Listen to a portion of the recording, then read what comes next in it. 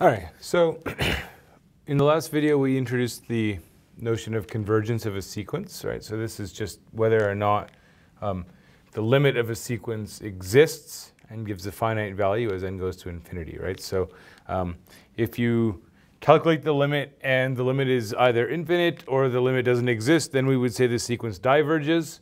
Um, if it, uh, so a convergent sequence is going to be one where we actually get a number for the limit. So that's what we're looking for here, okay?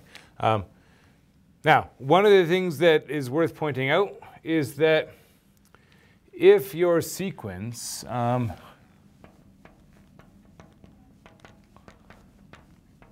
if your sequence is, you know, given by f of n, um, where we know how to do this limit, the limit as x goes to infinity. So if we replace n with a real variable, x, and we calculate that limit and it exists, well, then the limit as n goes to infinity of an will agree, right? Now, that doesn't always work because there will be situations where this limit doesn't exist, but we can still make sense of the, of the sequence because there might be functions that, you know, for a real variable, they're jumping around all over the place, but you put in only integer values and things settle down. Uh, but this does give a handy tool, especially for something like this, because we know how to do a limit like this, right? Um, we know that if we were doing the limit as n goes to infinity, of 3n squared minus 2n plus 1 over, over n squared minus 1,000, right? Um, if we had x instead of n here, then this is a problem that you did way back in the very first chapter on limits, right? Very beginning of Calc 1. Um, we'd say, okay, quadratic top and bottom, right? If the degree is the same on top and bottom, we look at the ratio of the coefficients, 3 over 1. Um, we know that limit is 3. So it converges. It converges to 3. So that's, that's simple enough, right? It's, it's good enough to do that. I mean, you should say something, right? Say, why is it 3? Well, because it's the same degree top and bottom, and that's a rule that we learn, right? Um, if you feel like that's too easy and you want to show a little bit of work, well, you could always do that same trick that we did with the real variable, divide everything by n squared, right? Um, so you could write this as the limit n going to infinity of 3 minus 2 over n plus 1 over n squared, 1 minus 1,000 over n squared. Um, and you can use the limit definition. You can give an epsilon n proof to show that the limit of anything, any constant over n, that limit is going to be zero. Same with n squared, n cubed. You know, constant over any um, positive power of n is going to go to zero. So we get 3 over 1 in the limit, we get 3. Great. You move on to something like this. Well, this, if you plot it, it's an interesting thing because if you plot this function, if you plot the sequence, right, I mean, we know what it is a function of x, so you get this cosine wave, it oscillates back and forth. Um, but if you start plotting the points for this sequence, um, the textbook has this scatter plot, shows you what it looks like. Well, then it's a little bit different, right? Because um, you're only plugging in the integer values. So you're, I mean, you're getting points that are on that cosine wave, right? But only, only at the integer values. And and the cosine wave, you know, if we're just doing cos n, it's not oscillating with an integer period, right? The period is a multiple of pi. Um, so things are going to actually jump around a whole lot. It's going to be kind of funny looking. Um, but nonetheless, we know for sure that this is not going to exist, right? Um, so this limit diverges. So this sequence diverges.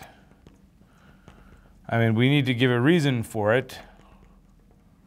But one of the things we know is that well, we know the limit as x goes to infinity of cos x. That doesn't exist, right? Because it oscillates back and forth between minus 1 and 1, right? We hit those values infinitely many times. Now, we're not actually going to hit minus 1 or 1 for this because we're not actually going to get to, you know, a multiple of pi over, uh, to a multiple of pi, right? Um, we don't get to a multiple of pi. Um, but we get close, right? Um, so somewhere along the way, you know, n's going to infinity. We have all the integers in there. So somewhere along the way, we have we have you know three, right? We have 31, 314, right? 3,100, you know, uh, 41. Um, we have 3,100 or 31,415, you know.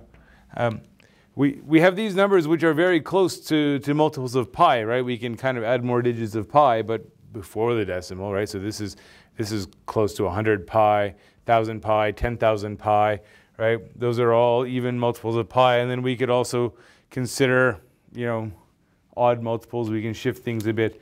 Um, so we can get lots of values that are close to 1. We can also generate values that are close to minus 1. We can get all kinds of things in between, right? Um, so it's never going to get close to any value. It's going to keep jumping back and forth forever. Um, so that's no good. Okay.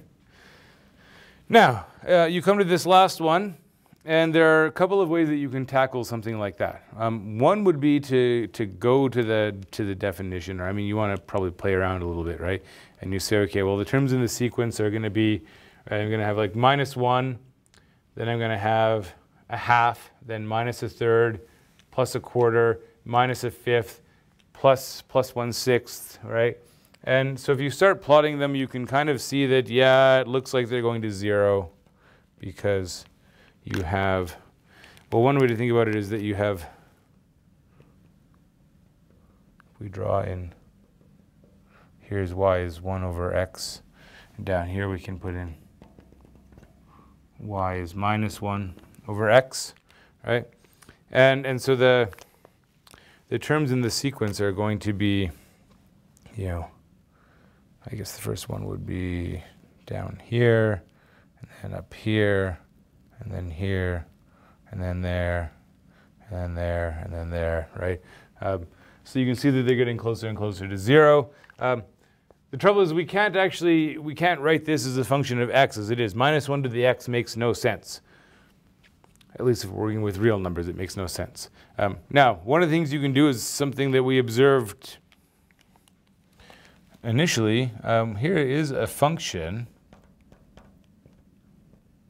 that actually agrees with this sequence on the integers. Cos pi x over x, right?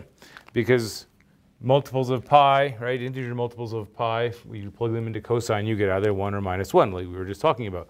Uh, so there's a function of x that agrees with our sequence at every integer, and if you take the limit of that, well, we, we saw that again, but go back to Calc 1 methods. Um, squeeze theorem essentially is going to tell you, right? Because the absolute value of this f of x, right? Well, absolute value of cosine is less than or equal to 1. So this is less than or equal to 1 over x in absolute value. And so the function is sandwiched in between minus 1 over x on the one hand and plus 1 over x on the other hand. We know that those both go to 0, so this has to go to 0 as well.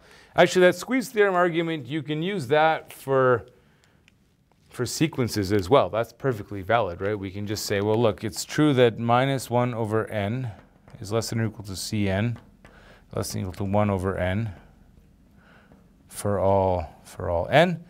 And we know that that goes to 0. We know that that goes to 0. Squeeze theorem says that this has to go to 0 as well. So we know that the limit as n goes to infinity of Cn is 0. So it converges, and it converges to 0.